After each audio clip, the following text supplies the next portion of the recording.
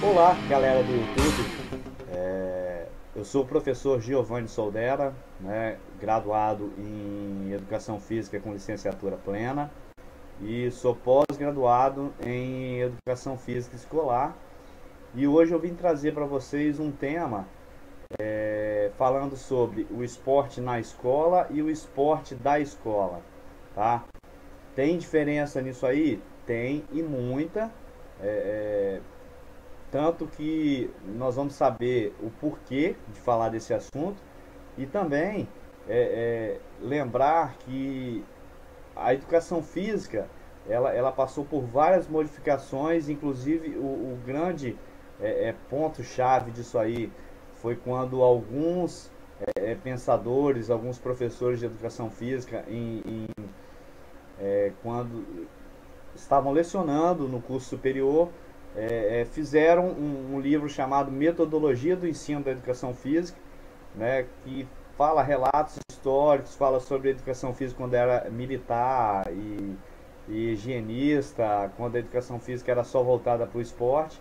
Então esse livro que vocês vão ver agora na, na tela é o Metodologia do Ensino da Educação Física, então ele foi o divisor de águas da educação física. Dá uma olhadinha nesse livro aí, e eu não vou ficar falando muito sobre ele não, mas eu, eu quero focar sobre o esporte da escola e o esporte na escola. Bom, tá aí o livro que eu falei para vocês, né, Metodologia do Ensino da Educação Física, coletivo de autores, ele é de 1992, tá? Tem 119 páginas, é da, da editora Cortez, e aqui fala um pouquinho, ó, é, a metodologia, né, que é anunciada neste livro é entendida como uma das formas de apropriação do conhecimento específico da educação física, onde sempre está presente o singular de cada tema da cultura corporal, como também o geral, que é a expressão corporal como linguagem social e historicamente construída. Assim, são contempladas abordagens metodológicas abrangendo programas específicos para cada um dos graus de ensino bem como formas de selecionar e sistematizar o conhecimento e organizar o trabalho escolar, sem descuidar das práticas avaliativas que ganham instigantes contornos.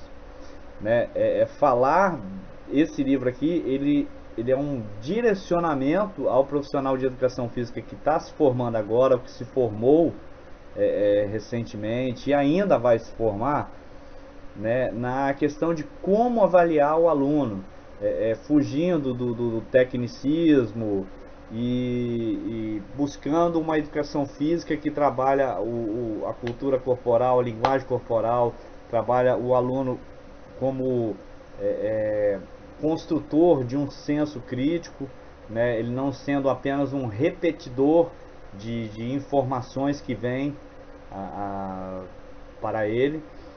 E esse livro é muito bom, tá? Ele é o direcionamento de todo acadêmico. Hoje as grades curriculares do ensino superior estão voltadas para ele. OK?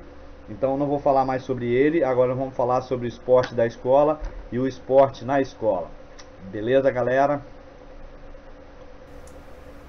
Qual é a diferença dos dois? O esporte na escola é aquele esporte voltado é, para a competição, para o esporte de alto rendimento, né, é, com, com, técnicas, com, com fundamentos, com é, é, buscando o alto rendimento mesmo, tá? Aquele feito no clube. Então ele, ele vem de uma cultura do clube para dentro da escola. E o esporte da escola é aquele esporte elaborado né? Ele, ele busca algo do esporte de competição, porém, ele é um esporte elaborado dentro da própria escola. Né? O, o, os alunos podem criar regras, né? você pode pegar um, uma aula e, e, pegar, vamos botar aí o exemplo de voleibol. Como que nós vamos fazer um jogo de voleibol, sendo que na regra ele fala que ele tem que ter seis em quadra, seis na, na no banco, na, no banco de reservas, e eu tenho 30 alunos para trabalhar ao mesmo tempo. Então, ali o esporte da escola, ele sistematiza isso aí para que todos os 30 participem e participem em pé de igualdade. Né? Nós sabemos que na competição, no esporte é, é, da escola, é, né, no esporte na escola, ele, ele vem, é, não tem igualdade de competição não, é, é cada um para si, quando é esporte coletivo, uma equipe é mais forte que a outra, independente, as regras não são feitas para que todos é, é, joguem em pé de igualdade. Já no esporte na escola, nós temos essa possibilidade. Ok? Então, eu não estou aqui para defender A ou B. É, eu sou a favor, como professor de educação física, a ter os dois. Certo? O esporte na escola, ele tem que ser feito no contraturno. Aí sim você seleciona os alunos que tenham maior habilidade maior é, é, adaptação e assimilação de fundamentos para fazer uma competição e representar a escola. Isso aí é uma prática muito boa e ela tem que acontecer, certo? O esporte da escola, ele tem que ser feito para que todos participem, independente da pessoa seja alta, baixa, magra, gorda, é, não tem essa separação né? Se é masculino ou feminino, então todos podem participar em pé de igualdade. Agora, já no esporte de competição, tem que separar masculino, separar feminino, tem diferença de rede. É, é, os homens, às vezes, eles têm potencialidades maiores do que as mulheres, então não, não há igualdade de competição junta. Por isso que eu estou falando que quando o, o, surgiu o livro coletivo de autores e as pessoas começaram a ler é, alguns profissionais começaram a se perder, tá? Se perderam achando que educação física era você soltar a bola para o aluno e deixar o aluno livre, construir. Mas não é o aluno pegar os 200 dias letivos da escola e ele criar.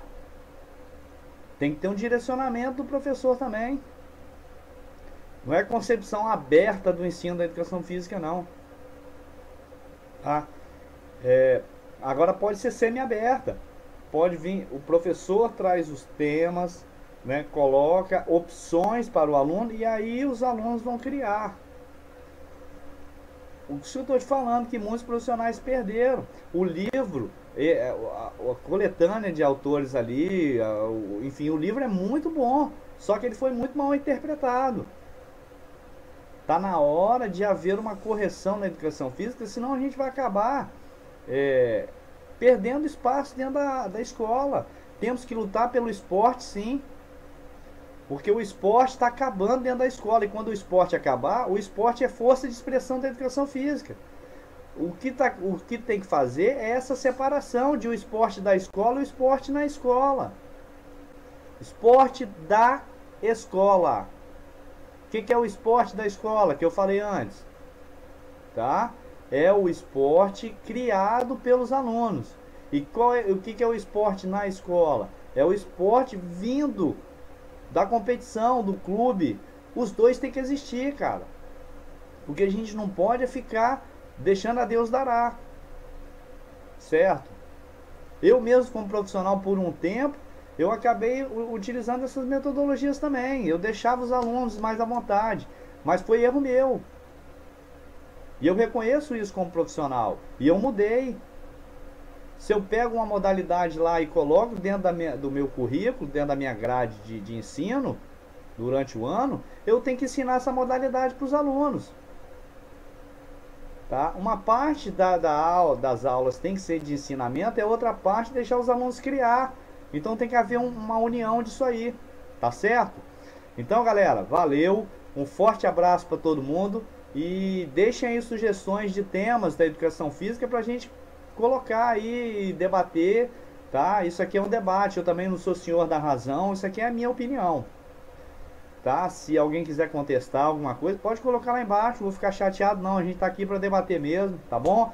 Forte abraço para vocês, dá uma curtida no canal, é, se inscrevam, me dá uma força aí também, que isso aqui é um a gente não pode falar na televisão, não tem espaço, a gente tem um espaço aqui no canal do YouTube. Tá certo, galera? Beijo no coração de todo mundo. Fui!